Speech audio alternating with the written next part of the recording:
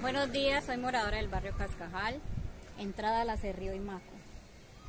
Como pueden observar, eh, la problemática que se está viendo ahora es en esta calle que comunica con la calle de la planta y la problemática que, tenemos es que el alcantarillado se encuentra destruido y cuando llueve es muy es un río donde en la parte de abajo se inunda la calle se inundan las casas eh, tenemos un hogar infantil, una guardería, eh, donde los niños se ven afectados ya que como el alcantarillado está malo y las aguas lluvias hacen daño, eh, el agua se devuelve por, las, por los sifones de las casas y emanan unos olores muy fuertes.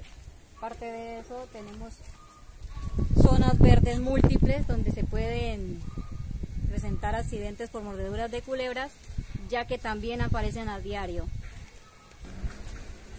Eh, también viven personas de la tercera edad, las cuales se les dificulta caminar y como pueden ver, para allá no bajan los carros. Las comidas, el alimento que le traen a los niños de la, del hogar infantil, deben dejarlo acá arriba y la señora como puede buscar quien le ayude a bajarlos. No se puede bajar un taxi con mercado, no puede bajar una ambulancia por una persona.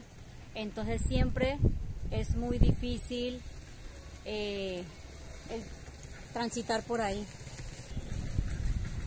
Una de nuestras vecinas que tiempo, mucho tiempo atrás luchó por el, bienestar de esta calle, se cansó, no siguió haciéndolo, tiene actualmente en sus manos documentos, paquetes de documentos desde el mandato de José Félix Ocoró, que se ha estado peleando para arreglar el alcantarillado de esta calle, para ver si se, algo, se hace algo con ella, ya que en la SAP aparece pavimentada como más de tres veces.